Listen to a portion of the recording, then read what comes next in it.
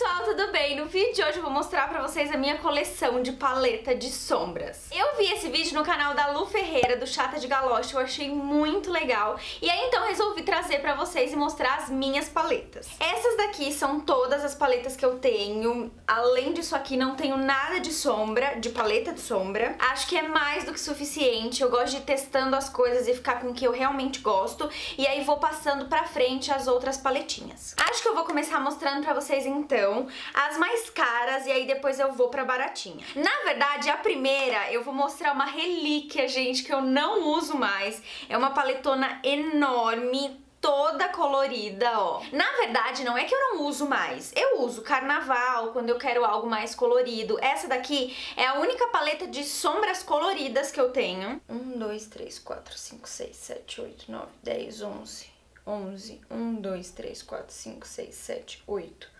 8 vezes 11, 88 cores. Aqui ainda tem alguns tons neutros, né, nessa parte de cá, marrons mais clarinhos, e aí depois vai ficando rosa, azul, verde. Eu acho que é importante sim ter esse tipo de paleta, porque às vezes a gente precisa de tons coloridos. Essa daqui não tem nenhum tom opaco. Quando eu comprei essas paletinhas, gente, eu tinha várias. Eu tinha de 120 cores, tinha essa de 88 com brilho, de 88 mate, e aí acabei ficando com só essa daqui. Agora eu vou mostrar pra vocês as paletas mais caras. Depois, então, da febre das paletas coloridas, a minha primeira paleta cara foi essa daqui, a Naked 1. Essa paleta tem várias cores incríveis que eu amo. Essa daqui pra iluminar eu já usei bastante. Essa é um pouquinho mais rosada. Esse tom, que é o Naked, é incrível pra fazer transição de sombra. Transição no côncavo, sabe? Aí tem esse tom que é lindo, é com um brilhinho, é, é um neutro com brilhinho sofisticado. Esse marrom aqui mais telha, dourado, marrom, marrom mais escuro. Esse é lindo, que é um rosé cintilante. Vocês estão conseguindo ver aí? Acho que sim, né? Esse daqui é um marrom um pouco mais uva, aí tem o preto preto e tem o chumbo puxadinho pro azul. Eu não sei se ainda tem essa paleta no mercado, ela tem um espelho aqui, é linda, é compacta, as cores são incríveis, a qualidade das sombras Naked, né, Urban Decay são maravilhosas.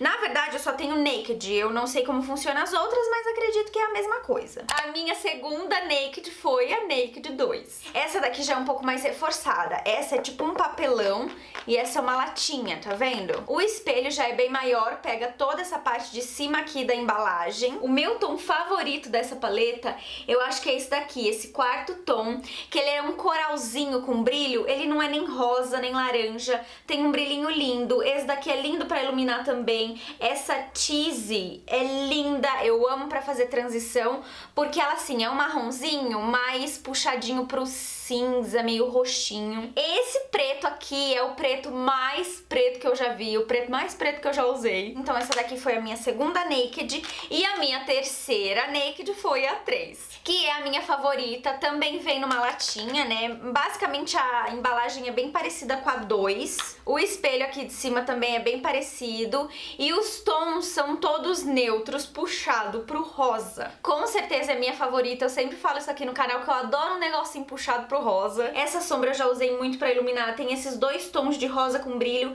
esse rosa mais clarinho, rosa mais escuro, rosa opaco, rosa um pouco mais escuro que os outros dois, esse daqui que já tem um fundinho mais coral, esse é lindo também pra fazer a transição. Todas as paletas têm esse, esse marronzinho da transição. As Naked são paletas que eu não uso tanto em vídeo aqui com vocês, eu uso mais nos bastidores porque são sombras que eu gosto muito, de uma qualidade incrível, só que não é tão acessível não é tão barata, então por esse motivo eu acho que eu não trago aqui pro canal. Não trago sempre, né? Mas às vezes acaba aparecendo. A minha quarta e última Naked, essa daqui, a Smoke. A embalagem dela é diferente das outras, é tipo um plástico bem reforçado. Tem esse desenho super chique de mármore aqui. Também vem com espelho, espelho bem grandão. E aí já é uma paleta pensada pra você fazer olho mais escuro. De todas, eu confesso que essa daqui foi a que eu menos usei, mas também é um xodó. Eu amo as cores. Aqui no meio eu tenho os tons mais escuros, desse lado tom cintilante e desse lado tom opaco. Essa é uma paleta diferente, ela não segue uma coisa linear, tipo claro, escuro, muito escuro, preto. Eu tô muito doida pela Naked Cherry, Cherry, eu quero quero muito, gente, muito. Lançaram a Naked que era mais puxada pro laranja. Como que é? A Hit, mais puxada pro laranja. E essa agora, a Cherry, que é mais puxada pro vermelho, pro rosa. Ai, meu Deus. Só que é muito cara, por exemplo, três das quatro que eu tenho foi o Gustavo que me deu, eu comprei uma só. E comprei lá fora ainda, que era mais barato, uma amiga minha foi, eu pedi pra ela trazer. Aquelas bem mão de vaca, né? Agora eu tenho aqui essa paletinha da Kylie Jenner, eu amo essa paleta. A embalagem é linda, é um branco rosé. Eu favoritei ela no vídeo passado, mostrei pra vocês os melhores do ano e essa paleta tava no meio. Eu já gosto da embalagem, eu já acho incrível. Quando você abre, tem um espelhão aqui aqui é aquele espelho bom pra maquiar de perto. Vem um pincel de esfumar maravilhoso, que já tá até ali nas minhas coisas que eu sempre uso. E essa é uma paletinha mais puxada pro pêssego, pro laranjinha, coral. Esse tom é lindo, avermelhado com brilho. Esse é bem parecido, só que é opaco. Aí tem um dourado, o rosa, o azul, que é o mais cheguei da paleta, né? Aqui embaixo tem um lilazinho, aqui um laranjinha opaco. Esse tom aqui, que é um verde é, um verde meio dourado. Não, acho que é verde. Esse daqui é o meu favorito, que ele é um... Ele é um neutro com fundinho rosa e quando você passa no olho ele tende um pouquinho pro dourado, é lindo. Esse daqui é o tom que eu uso pra fazer transição, marrom clarinho. Esse daqui é um tom de pêssego bem clarinho, opaco. E esse é um marrom com brilho. As cores são lindas. Aqui atrás a gente tem o nome de cada uma delas. A minha cor favorita, acho que é a Queen Bee. Ou é a Seal Shield. Seal Shield melhor deixar pra lá, né? E a última paletinha cara que eu tenho aqui nas minhas coisas é essa daqui da Sigma, a Natural Volume 2. Aqui tá escrito em inglês, né? Mas eu não vou me arriscar a dizer não. A embalagem também é de papelão ela fecha no imã, assim. Esse é o meu tipo de embalagem favorita. Aqui vem outro espelho, também dá pra maquiar de perto. E as cores maravilhosas também. É uma paletinha neutra, mas eu sinto que é uma paletinha neutra quente. Ó, marrom quente, vermelho, esse vinho. Esse que é um marrom um pouco mais claro com brilho, rosa, rosinha, rosa opaco. Aí tem esse verde aqui que é bem bonito, esse tom de marronzinho de transição, bem parecida com a outra da Kylie Jenner que eu uso pra transição também, e esse daqui que é o tom mais clarinho opaco. Assim como a paleta da Kylie, aqui atrás tem todas as cores e o nome delas. Só que além de ter os nomes atrás, embaixo de cada sombra tem o nome. Eu gosto, gosto mais assim. Então essas foram as minhas seis paletas caras. Agora eu tenho uma, duas, três, quatro, cinco, seis baratinhas. Vou começar mostrando pra vocês essa daqui, a paletinha da Lu Ferraz, que ela não é tão barata, tão baratinha.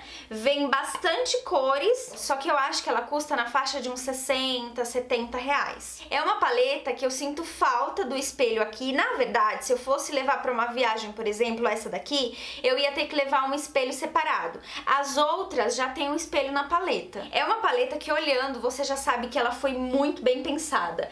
Tem o marrom mais clarinho, esse daqui que é um tomzinho de champanhe com brilho. Esse é um tom de marrom mais frio, aí tem esse bem neutro nude, o chumbo, lilás, esse preto que é lindo com brilho. Aí tem esse roxinho que eu gosto, mas acho que foi um dos únicos que eu não usei muito. E esse daqui que é o marrom terra, né? Marrom telha opaco, que não pode faltar numa paleta neutra. Essa paletinha, ela esfarela um pouco, mas isso não me atrapalha, por quê?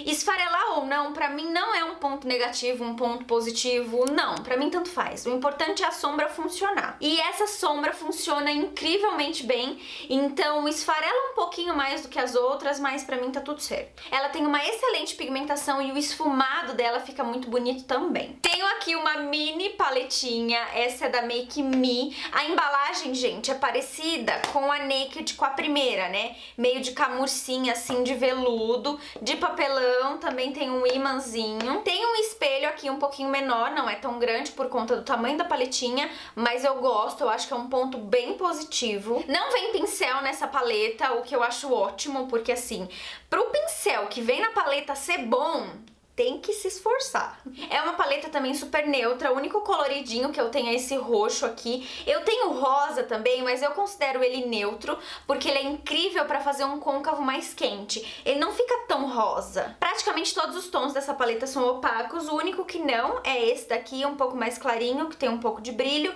mas todos os outros, o roxinho, o marrom, o preto, esse mais claro e o rosa são opacos. Quando eu vou viajar e não quero levar muita coisa, na maioria das vezes, acho que assim, 80, 90%, eu levo essa paleta porque ela é pequena, eu consigo fazer um olho claro, um olho escuro, tudo eu tenho aqui. Apesar de serem só seis sombras, ela é muito versátil. Agora a gente vai falar de sombra Baratex mesmo, essa daqui da Belly Angel, que eu paguei R$ 9,80 na época, chegou a custar 10 reais, 12 reais, 15 reais, mas é muito baratinha. Essa paletinha da Belly Angel eu favoritei no ano de 2017, foi a melhor paleta pra mim. Continua sendo uma paleta incrível, ela é de tons neutros, tem bastante tons avermelhados, mas tem um pouquinho de amarelinho aqui, os mais claros também. Nenhuma das cores tem brilho, então assim, se você tem essa paleta, você tem que ter uma outra paleta com brilhinho pra poder ter essas duas opções, mas ela é muito boa. É boa num nível profissional, gente. Eu amo esses tons aqui,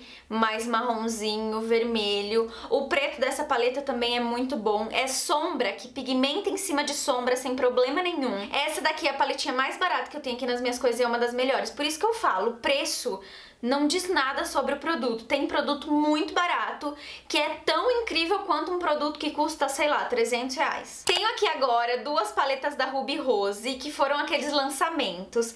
A Ruby Rose me enviou, gente, eu acho que sem brincadeira, umas oito ou nove paletinhas dessa. Eu presenteei um monte de gente, mandei pra seguidora, dei pra família. E aí acabei ficando com essas duas aqui. A primeira é a Matte Diva Eyes, que ela é uma paletinha toda puxada pro laranja, tá vendo? Também tem bastante tons quentes. Aqui a gente tem 32 sombras e dois primers no meio da paleta. E essa outra aqui, que é a Sweet Eyes, que ela já é um pouco mais coloridinha. Ela tem os marrons, tem tons quentes, tem tom de brilho. Essa Matte Diva, ela já é toda opaca. Por que que eu resolvi ficar com essa daqui? Porque ela é mais puxada pro laranja e essa daqui da Belly Angel é mais puxada pro vermelho. Eu até recebi um comentário, um direct lá no meu Instagram perguntando qual era a diferença entre elas e é essa. Uma é mais laranjinha e a outra é mais vermelha. Eu gosto bastante dessa daqui porque ela tem os tons neutros, tem marrom, tem preto mais escurinho, só que tem uns coloridos também. Por exemplo, desse lado aqui, ó, tem coral, tem rosa, tem uva. Aqui no meio mais opaco, na parte de baixo com brilho, aqui no canto bem clarinho, tipo branco nude, e do lado de cá marrom, preto, com brilho, sem brilho. Esse tom aqui é lindo, eu gosto de, é, de misturar ele, esse rosadinho, com marrom, fica incrível no côncavo. E a Ruby Rose acertou muito muito também na qualidade dessas sombras, eu gosto bastante, eu uso muito no meu dia a dia, principalmente essa daqui, a Sweet Eyes, é a que eu mais tô usando. E agora, pra finalizar, minha última paletinha é essa daqui da Luisance, que é a Sweet Love, é uma das paletas mais lindas que eu já vi. É, a embalagem dela é bem parecida com as outras que eu falei pra vocês, de papelão. Tem o espelho aqui, ó, o espelho não é tão grande, não pega toda a embalagem, mas tem espelho. Não vem pincel e as cores são lindas. É uma cor mais linda que a outra. Aqui em cima é mais cintilante, aqui embaixo é mais opaco. Mas também é uma paleta que eu gosto muito das cores porque é puxado pro vermelho, é puxado pro rosinha. Tem marrom, tem escuro, mas tem os tons neutros, são lindos. Só que é o seguinte, essa daqui é a única paleta que eu deixo nas minhas coisas porque eu gosto muito da embalagem, eu gosto muito das cores, não é por conta de qualidade. Dar certo, eu tenho que passar um bom fixador corretivo, vir com a sombra direto no úmido para ela pigmentar bem. Não é uma paleta que pigmenta sombra em cima de sombra, ela é difícil, então assim, eu tenho aqui nas minhas coisas porque ela é linda, as cores são lindas, eu gosto bastante. Às vezes eu uso com um pouquinho mais de esforço, mas dá pra usar. Então é isso, pessoal, essas são as minhas paletas, as que eu tenho, as que eu amo. Eu espero muito que vocês tenham gostado, deixa aqui embaixo pra mim nos comentários qual a sua paleta favorita, se é cara, se é baratinha, porque além de indicar os produtos pra vocês aqui no vídeo, sempre tem nos comentários eu acabo pegando dica e as outras pessoas acabam pegando dica também. Se você gostou, não esquece de clicar no gostei, deixa seu comentário e se inscreve no canal. Um super beijo e até a próxima. Tchau!